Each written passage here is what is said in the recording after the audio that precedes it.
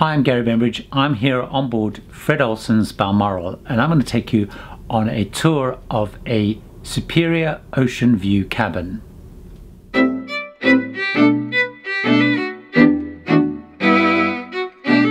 Right, so let's take a look at the rooms. So this is coming in from the door. It is room uh, 6010, which means it's on deck 6, cabin number 10. This is known as a superior ocean view room, which means it has a window rather than a balcony.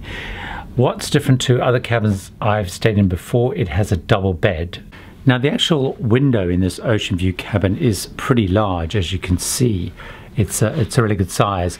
And one of the reasons the video is perhaps a little bit bouncy today is we're actually crossing the Bay of Biscay as I video this and there's swells of sort of one and a half to two meters. Up from the front of the bed is the desk slash I guess dressing table with a flat screen TV which has a whole bunch of UK based uh, entertainment and news channels and uh, various movies that are run during the day you have you know passage information and all that kind of uh, documentation that you need.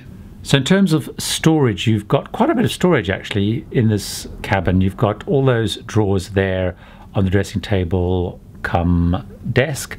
Then you have two cupboards and one of the cupboards has a safe in it. Now this being a uk driven cruise line one of the things that it does have which of course is very popular is tea making facilities. So let's go and take a look at the bathroom, which is through here.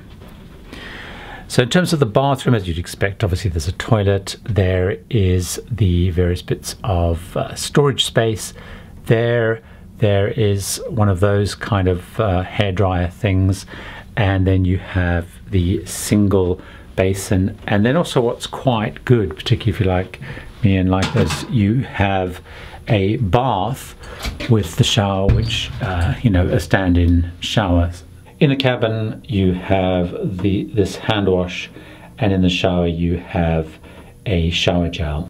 And so there you have it. This is as I mentioned on Fred Olsen Balmoral it's a superior ocean view cabin.